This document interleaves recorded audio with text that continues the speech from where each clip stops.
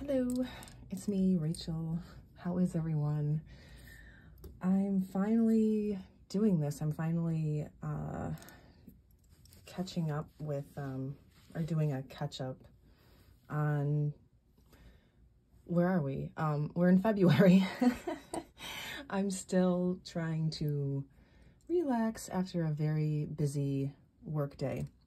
Anyway, what I meant to say was January recap, January into February a bit. Um, so we finally have experienced some winter. Um, yeah, here in New England, I experienced uh, the first winter I could think of in years, really, where there really wasn't any snow. And I found myself actually missing it and appreciating the beauty of it. And I remember telling my boyfriend that, like, I actually would like some snow. And he's like, really? like, we're both from Buffalo originally. So, uh, I don't think I have to tell you that we've seen our fair share of it. And it's not something that we usually look forward to. But um, aside from that, recently, like the past couple of days have been extremely cold. Like so cold that you're afraid to go outside even to take out the trash. And, um, but there's no snow anymore. So it would have been nice to have some some whiteness outside to contrast, you know, against like the bleakness of how bitter cold it was. But no, the snow has all but gone completely. So I don't know what the rest of winter looks like, but we are um, in February now. It's February 5th. Um, I'm telling you all this needless information. Um, so what has been up? Um, not too much. I've been quite content sitting at home, um, just focusing on my day-to-day, -day, you know, work, fitness, cooking, and carving out time for studies and art. And the same thing with my daughter. She says she's very happy to be a hermit. um, we had to go to, I say we had to, I'm such a terrible person. We went to a Chinese New Year party yesterday. Uh, we were invited to go this uh, local restaurant in town. We've known the family who owns it for years. And we typically go every year. And uh, it's very, very busy and very noisy. Free food. And they give you like these little drink tickets when you walk in for a couple of free beverages. And um, they give you like little envelopes with, you know, like five dollars inside. I don't know why I'm telling you all this. Um, but it was nice, but I really had to gear myself up to go. Like I didn't want to. I did, but I didn't. Um, I think I would have enjoyed it more had I not been afraid to run into someone that I, I'm not going to talk about it, but I didn't want to see. So I think had I not been nervous and trying not to look over my shoulder the entire time, I probably would have enjoyed it more or not been as nervous as I was. But aside from that, yeah, it's just been um, weird for me lately. I get like that. Like if I spend a lot of time um, at home or isolated, I find it even harder to reacquaint myself with society. I've never been good at small talk anyway. but I'll get to a point where like I don't even want to go to the grocery store or anywhere. I don't want anyone to see like I'll I'll go into Target wearing my sunglasses and it's night and I don't care. I just I don't want to be seen. So um yeah. That's just some little I don't know, little tidbit of fun information about my strangeness. But um but yeah, on a whole, it was, it was nice. I, I could have just decided to stay home, you know, but I went. I went. And my daughter didn't really, she wasn't really feeling the enthusiasm either, but but she went as well. And then later on, we stepped back out to get some cannolis at the little Italian bakery here up the street.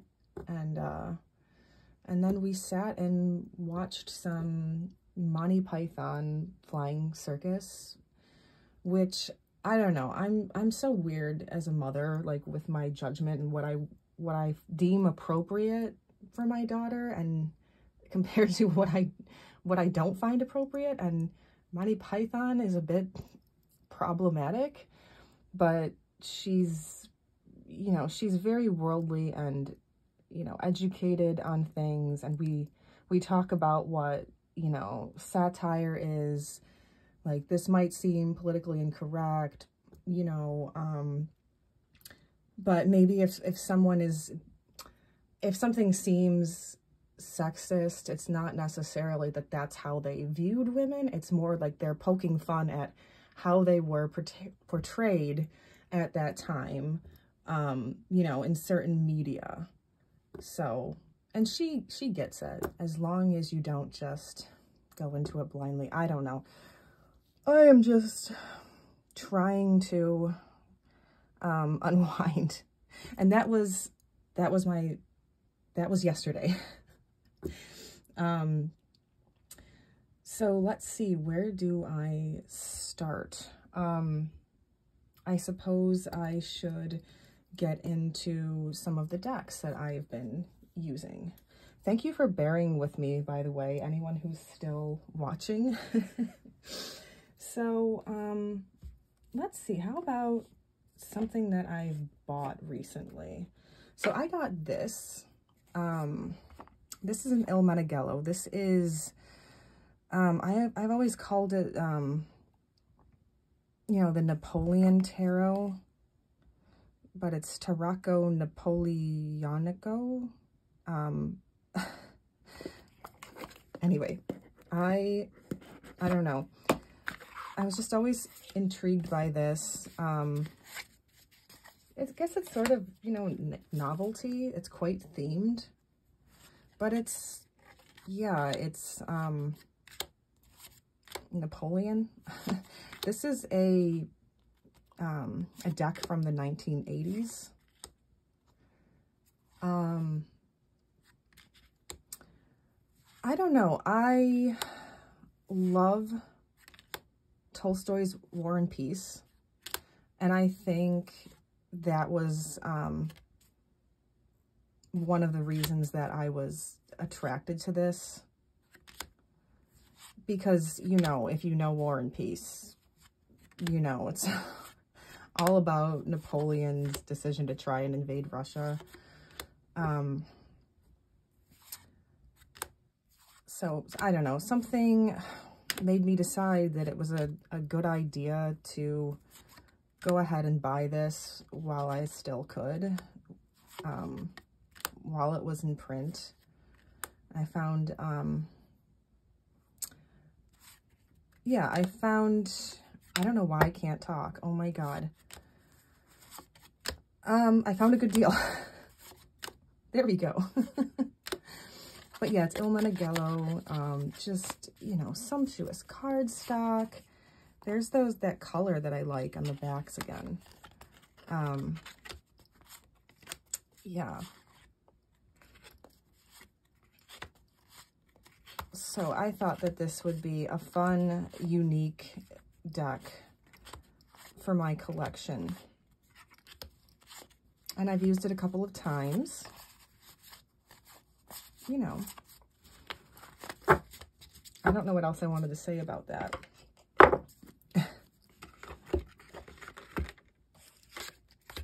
yeah.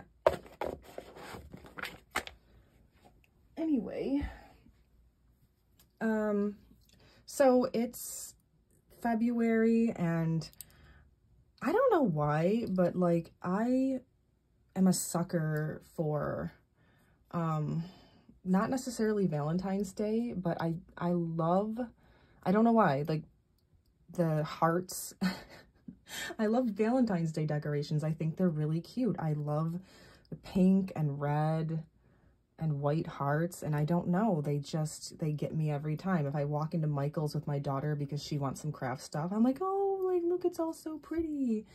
Um, so yeah, keeping that in mind, I don't know. I've been feeling compelled to use this a lot the past couple of days because it's very, you know, like red and pink. And um, yeah, Trionfi della Luna, everybody I think knows that I love these decks. So this one, I was very lucky to find.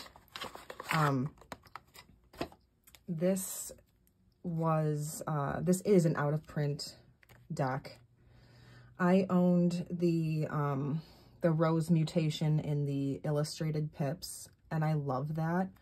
But I think I've mentioned before, like, I really wanted the original Marseille Pip style. And it was out of print, and I was on eBay one day, and I think it was just meant to be that I saw someone was selling this. And I didn't even hesitate. I probably should have hesitated because I don't know when I got it into my head that, you know, I could just basically buy whatever I wanted so long as I wanted it badly enough, like it was justified, you know. I don't want to go off on a tangent about um, spending and what you should and shouldn't buy and what's important and what's not. But um, yeah, I think that February for me is going to be a time to hone in and uh, focus on how I'll benefit from creating more of a budget. I do think that um, given circumstances, I have fallen into a bit of emotional spending. You know, I never get to a point where I I can't make ends meet. Oh, there's my devil chickens that everybody knows I love. Little beasties. Um, anyway, um, but I do find myself feeling a little bit of uh, anxiety about things. And it would feel good to be saving again because that was something that I used to be really, really good at. I was quite, you know, prudent. Um, and then, you know, the past couple of years have been have been really rough. I've been happy, but things, you know, times have been trying. And, um, yeah, buying books that I love and, and decks and music and other things is a distraction, a, um, a fun distraction. Um, but yeah, anyway, um, I don't know why I went off on that, but I love this deck. I love all of these color mutations. And uh, this has been um, a very fun, inviting deck for me. Quite warm the past couple of days where it's been so cold outside. And like I said, you know, February, Valentine's Day, red and pink. It's just been fun. It's been a vibe. Um, so, yeah, it's funny. So today I drew this card. I got the Eight of Wands for one of my readings. It was um, my full moon uh, spread that I did today. And then I did a reading for February, like a February monthly spread and goals for my planner I hadn't done yet. And I used this, the Russian Tarot of St. Petersburg. I know I've been showing this a bit. Woo, I like whistled. um, I've been showing this in many of my recent videos, but I, I love it. Um, so I used this um, like right after my full moon and I can't find it. But anyway, the first card I drew was again the Eight of Wands. And I was like, okay, that's, that's pretty cool. Um, and then for my daily reading later on, I used the, the Egorov or the Agorov. I don't know exactly how you pronounce this. Oh, I love this deck. Anyway, again, the first card I drew was the Eight of Wands, and I just burst out laughing. I'm like, all right. I guess that's, you know, the card of the day. Wow. Um, yeah. So yeah, I guess I'll show this deck. Oh no, here I go again.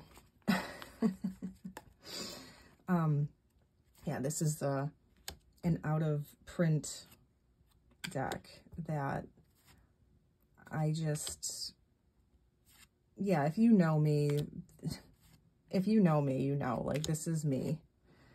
And I felt that I really needed it in my collection.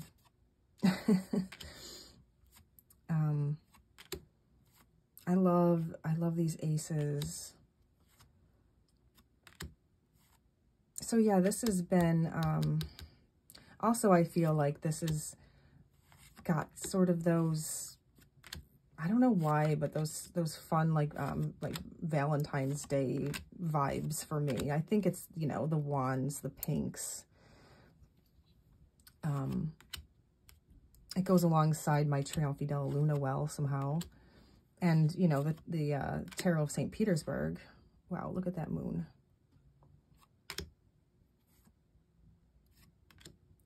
Is just beautiful. Yeah, it, it feels very uh, nostalgic to me. It reminds me of, you know, picture books like classic picture books that I looked through when I was younger.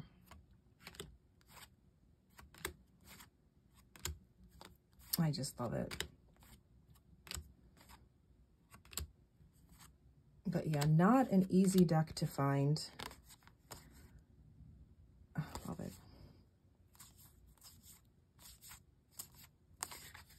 So yeah, so considering I got the Eight of Wands, I was thinking, okay, usually um, I take that as meaning like if I'm feeling inspired, um, I better act on that impulse as soon as I can because it's fleeting. And I know like tomorrow's Monday and I'm sure I'm not going to have the energy tomorrow considering I have to get up early to take my daughter to school that I'm feeling right now. So I thought, well, you know what? Um, maybe I should do a video. Maybe I should finally do my um, January, February uh, recap now because I've been meaning to do it. So that's why we're here, Eight of Wands.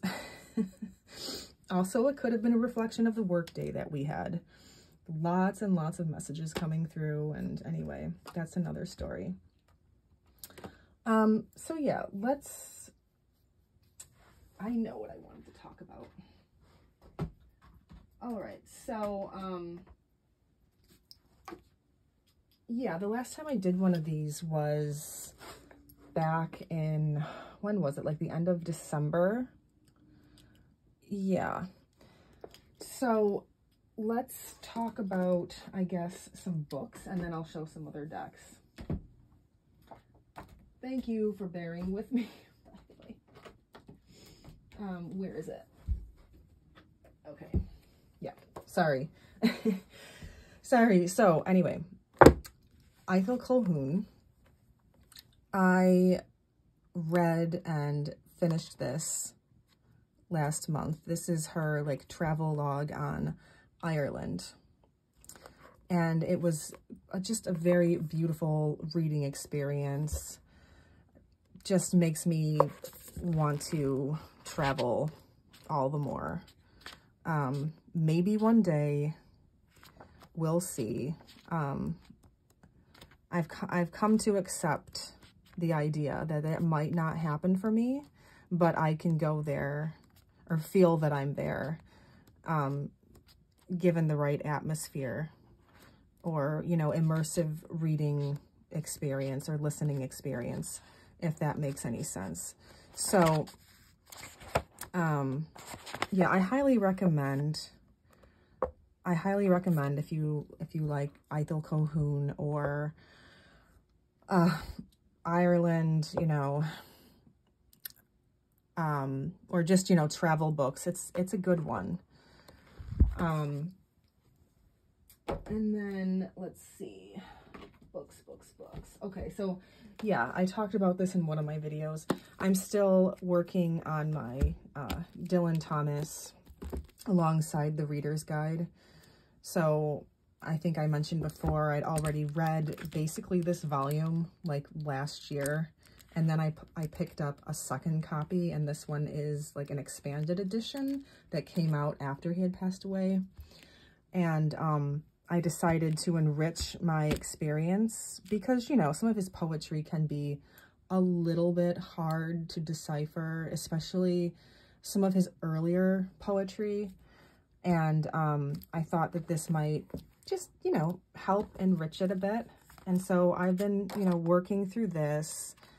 Um, I'll, I'll read his, you know, sub, his breakdown. Ugh, I can't talk on the poem. And then you read the poem alongside it, you know. And, um, yeah, I just, I, I love uh, Dylan Thomas. And so I've been savoring this because I just feel like it's something that I sort of want to be continuously reading.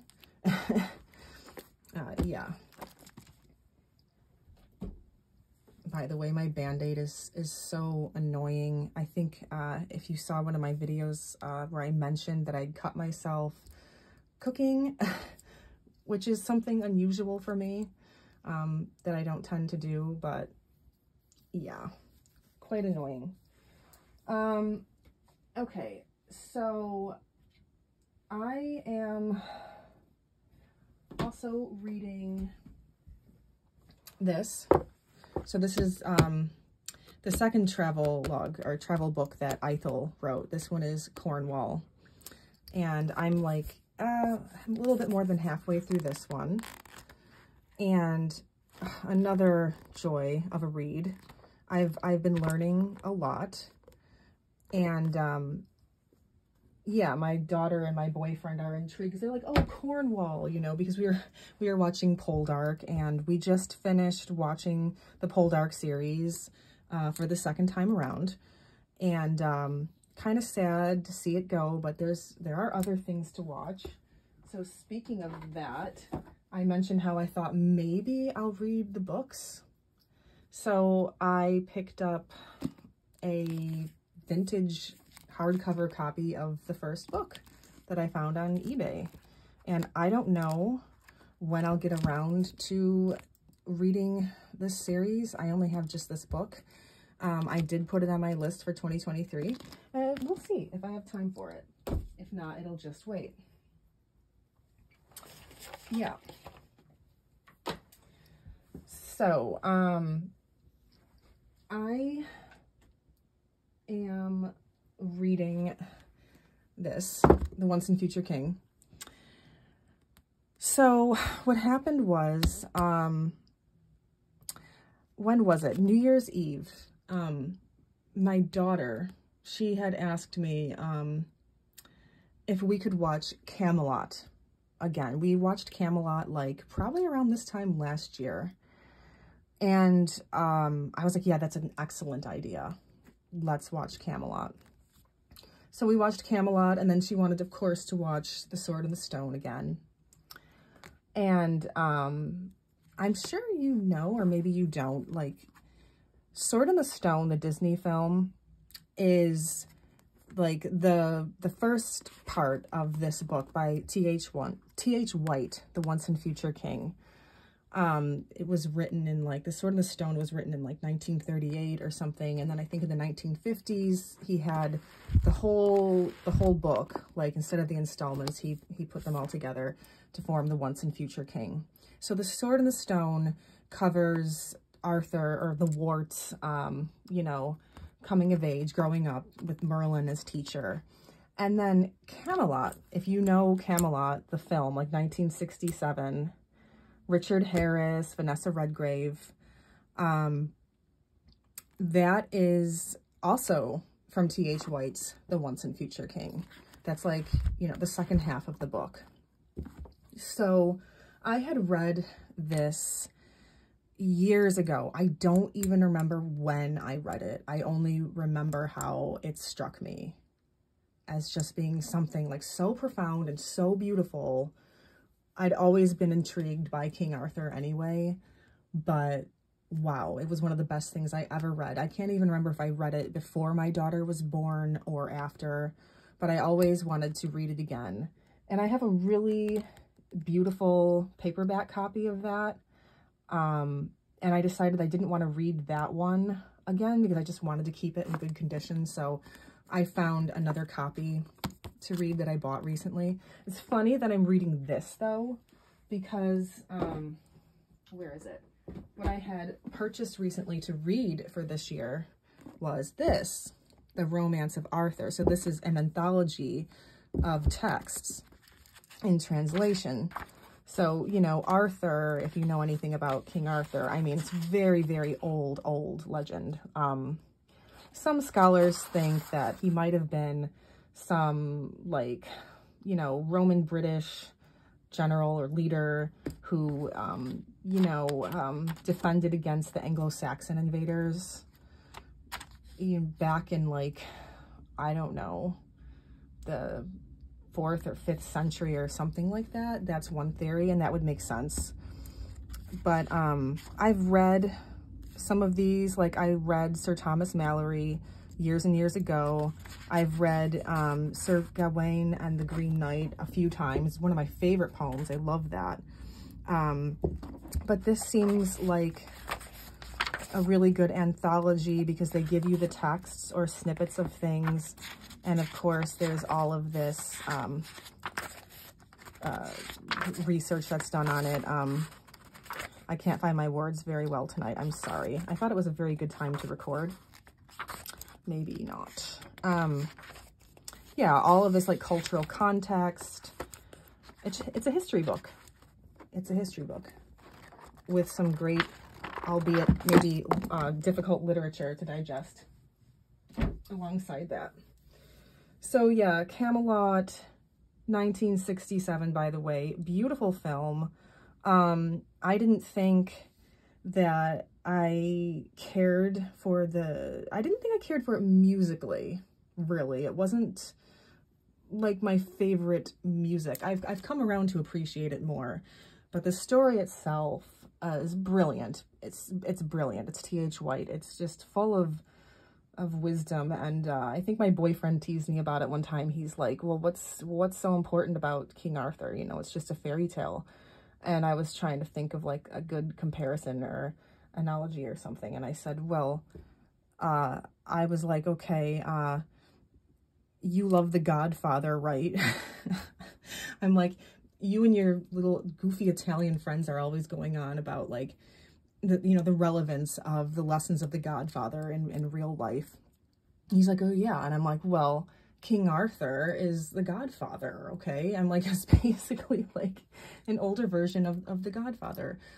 Um, and he's like, oh, okay, you know, because I think, you know, there were like many, um, even kings and queens who, who believed he was a real king and they'd go on pilgrimages to find like his burial site or birthplace or something like that. And he was, um, like a role model or some, or, um, you know, um, something to aspire to or a reminder.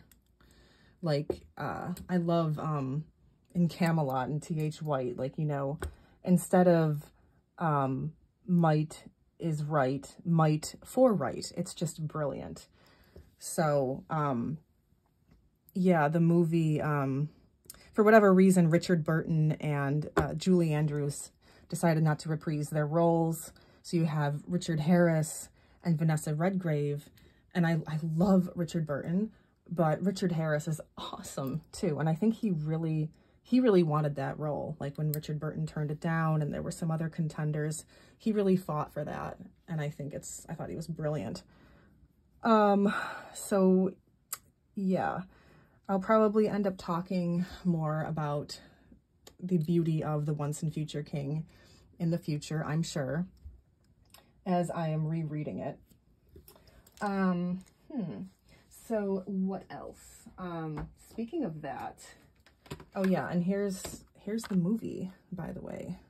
The movie cover. I just love the art. Yeah. Um, speaking of Arthur, I bought this. This had been something that I'd been looking at for years.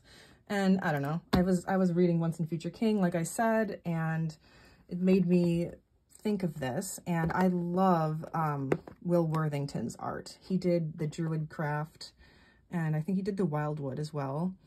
And um, this was like eight bucks, okay? And I'm just going to show you a few cards. I wish that this was a tarot deck. I really do. Um, I don't think, I'm not sure. I don't think I'm going to end up really using this as an oracle. I think I just needed it because I was fangirling about Arthur, and I'm always tempted to get any deck out there on Arthur. But I wish this was a tarot deck. To me, this is like some of the best um, Arthurian depictions that I've ever seen. His characters his people just look like real people. They have such depth of character. And, you know, you see that in the, the Druid craft as well. Um, but I just, I wish this was. I mean, I might use this for some divination purposes. But I think it's totally fine sometimes to have a deck just for the sake of the art. Yeah, this was like $8. It's so beautiful.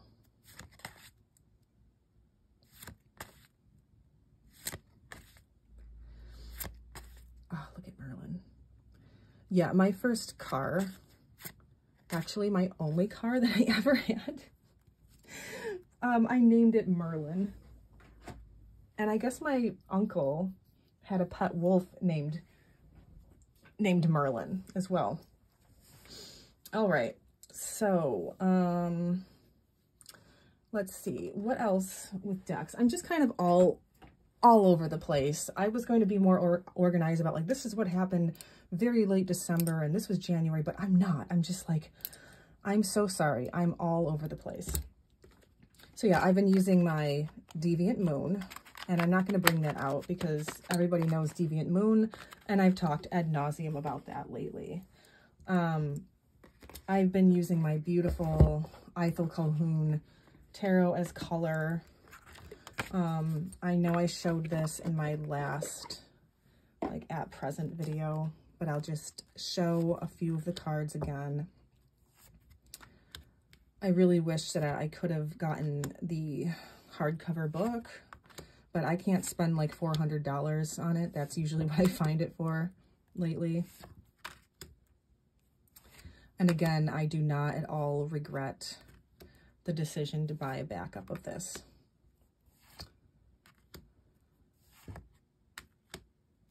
Yeah.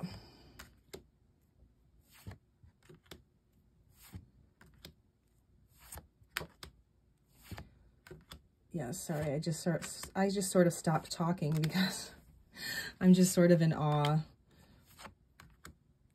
whenever I open this deck. I love the Hierophant.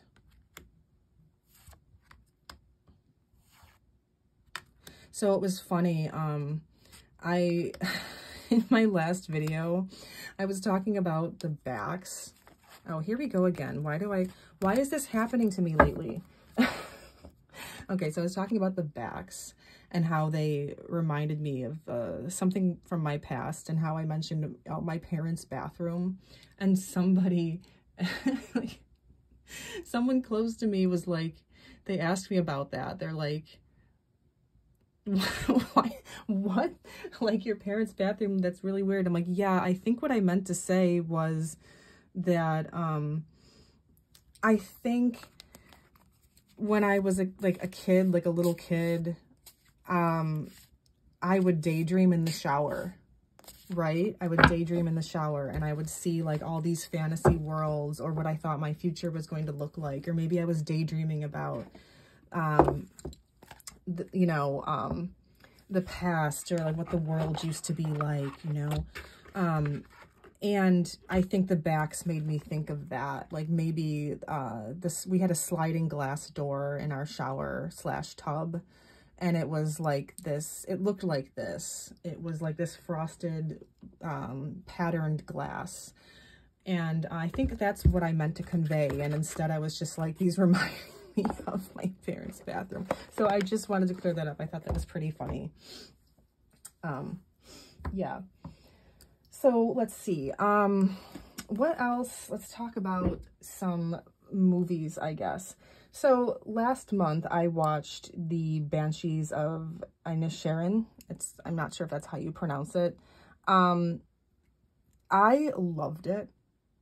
Uh, my boyfriend came in as I was watching it, and I was trying to watch it alone because I didn't think that anybody else would enjoy it. I sort of knew what it was about before I started watching it, and I was just like, no, I gotta watch this alone. But he saw most of it, and he was like, wow, that's, that's really great movie. I loved the acting and just everything. Um, and yeah, I mean, he basically has the same taste as me. Um, I always find that astounding how it's very, very rare that he doesn't like something that I enjoy he has good taste. Um, I mean, yeah, I mean, that's probably why he's with me.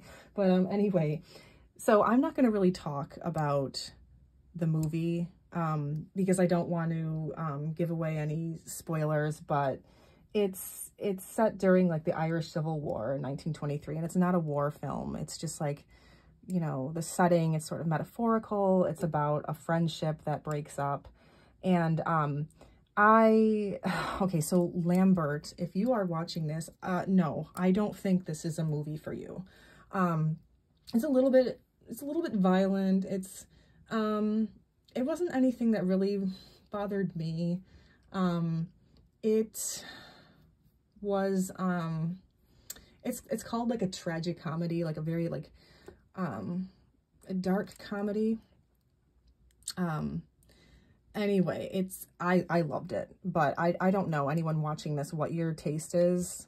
I'm not saying go and watch it, but I just wanted to say I watched it and I thought it was awesome. The scenery was beautiful too. Um, so what else? I recently watched, um, Girlfriends. Uh, it's a film from, uh, 1978 and um, it's about this young woman living in New York City. Uh, she's a photographer, and she feels um, this sense of betrayal and confusion after her best friend, who's also her roommate, moves out to get married. And uh, she's just feeling, I don't know, she's just feeling like lonely and um, just feeling some sort of void and uh, I loved it. And it it's it's a movie that like makes you think about relationships and um, how we perceive one another, how others perceive us, or like the grass is always greener kind of thing. Like I, it made me think like I never actually experienced living on my own. I, for a short spell, did have an apartment when I was in my teens with a couple of other girls. It was horrible. But then I went, moved back in with my parents after a few months. So I never experienced that. I was the friend in the film who was never alone. Like I've basically been in some sort of relationship since I was like 22 and I'm not 22 anymore. So um, it just, yeah, it, it's, uh, I liked it. And it, it's one of those movies that was, um, the, I loved everything aesthetically about it. Like I wanted the curtains, I wanted the carpets, I wanted the lamps, I wanted what they were wearing. I just loved it. Um, what else? Oh, so, um, I have a really good comfort movie for you, Lambert, if you're watching. It's called I Know Where I'm Going, 1945. Um, yeah, so it's this, this really headstrong, spoiled girl. She's set to marry this really rich guy. He's like the head of British Chemical Corporation. It's a, it's a British film. And they're supposed to be married on some Scottish island like called Kiloran. But there's this huge gale when she gets to Scotland and nobody will take her there um, by boat. And she keeps trying to find all these ways to get there and they get caught in this horrible storm. And anyway, it's just good. It's just a light-hearted romantic film without, in my opinion, being very corny. Um, I just loved it. And so I highly recommend that as a feel-good movie with like a lot of um, really beautiful scenery and cinematography. All right, so what else did I need to talk about? I need to start wrapping this up a bit. So I got this recently. I was so excited. Um, I have wanted this deck for years and I thought it was out of print because it was every time that I that I looked for it. And recently, this is thanks to um, Amidst the Grade. Oh my God, did I say grade? anyway, Amidst the Grey. Um, I was watching her fun tag uh, coffee house decks, which by the way, I'm meaning to do. And I've been um, taking some notes on which decks I want to include. She had this deck and I was like, oh my God, um, this is in print. So I, without very little hesitation, I went and bought it while I could because I knew like, you know, it would probably go out of print again. So this is, yeah, just a very beautiful historical reproduction deck. It's from the 1600s. Um, yeah. Sorry, I'm distracted. I'm hearing like noises. I think maybe my cat is trying to come in. yeah, I have to wrap this up. So I'm just going to kind of show you some cards. Yeah. I'm so excited about this. Like whenever I open this up, I can't believe that I'm looking at it because I just thought that like this was like a, what is it? What do you call it? A unicorn deck, you know? I didn't think it was ever going to be in my collection. And here it is. And I love the backs. This could be like a Valentine's Day deck too, actually. Okay. Um, yeah, so let's see here. Um, oh yeah. So I read this recently. This is Nabokov's The Eye. Um, so yeah, I found myself missing the way that um, I used to eh, find myself engaged with with what I was reading, usually good literature. Um, when I was younger, like a teenager in my 20s, um, even my later 20s, I used to be acutely perceptive of things like signs and symbols, um, or um, spoken or written words. And um, I didn't realize that I was, you know, um, so perceptive of such things until I noticed the past couple of years that I don't feel quite that connection to the world around me. Um, at that time that I had that acute perception of being able to recognize like signs and symbols, um, premonitions and things, I wasn't studying any tarot or any metaphysics of any sort. So um, I've been feeling compelled to start looking again for for signs like regarding which books I should read next. I used to do that. I used to look for signs and then so I had this uncanny ability to sort of pick up the right book at the right time.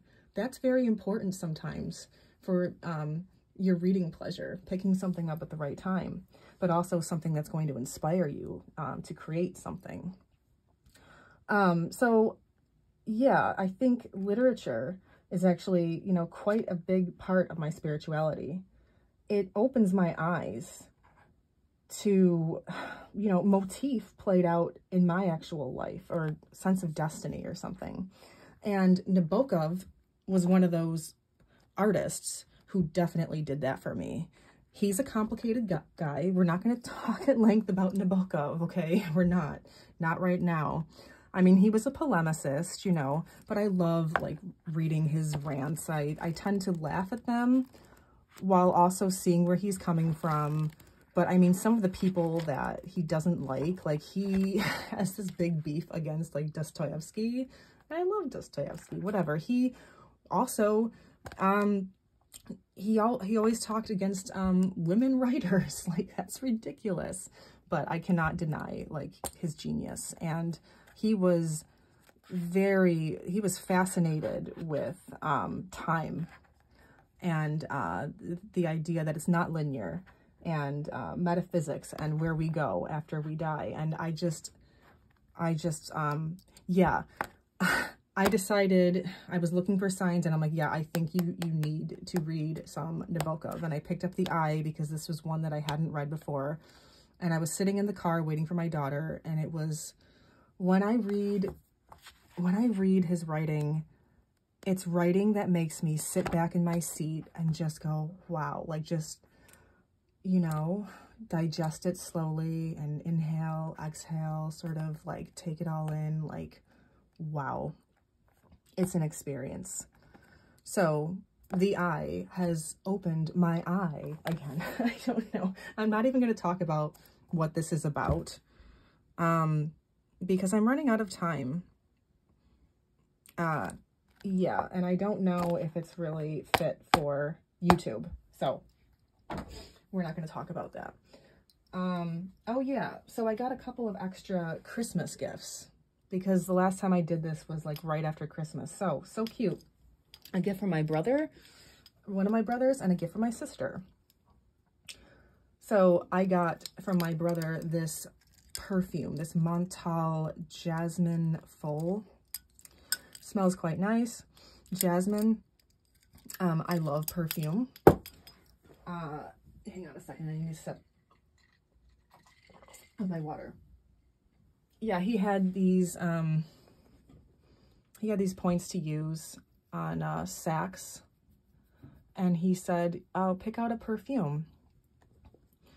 So that was a fun little um, surprise. And then from my sister, she sent me this. And I was like, oh my God. Nabokov lectures on Russian literature. And I was like, how did you know? I'm like, how did you know this? This is perfect. I have the other volume of this. Um, it's just literature. I forget which um, authors he talks about in there. Um, but she said years ago we um, had written lists of books that we wanted and we gave one another the list so that if we were ever in a store or something or needed a gift, we could uh, check out the list. And this was on the list and I was like, oh. So that's fun. So excited about that.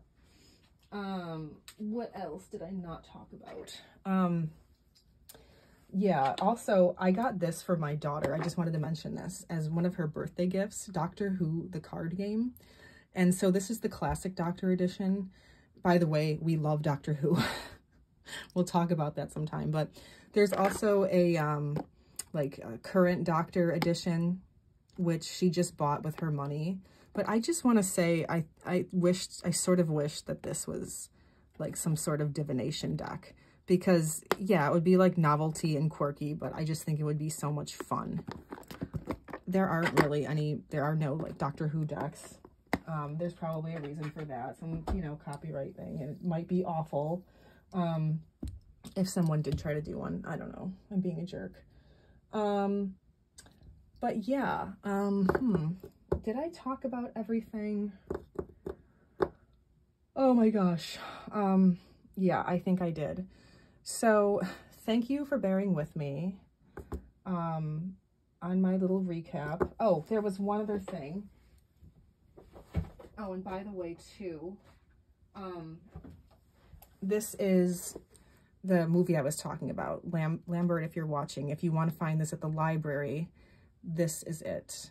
I know where I'm going. So you would definitely like that. That's definitely like a comfort movie in this house now. I just wanted to mention, if you're looking for a Thoth guidebook, um, this is great. I picked this up recently because I needed something from Amazon and I didn't want to pay shipping. I'm not, I'm not a member of Prime anymore. And I was trying to spend $25. So I was looking at my list of things and this had been on the list for years. And this is, this is great. Like, okay, I'll just get, I'll just show you like an example. Like, look at all the information that you get for one of the major cards. And then it goes on to page two.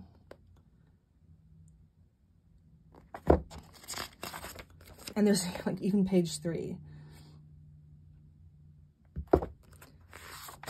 So yeah, um, I'm really excited about this.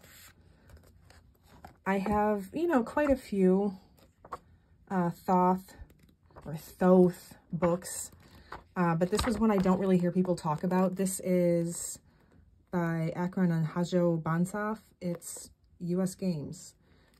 I love the size. Yeah, I'm weird in that. I don't know why I vacillate on the pronunciation.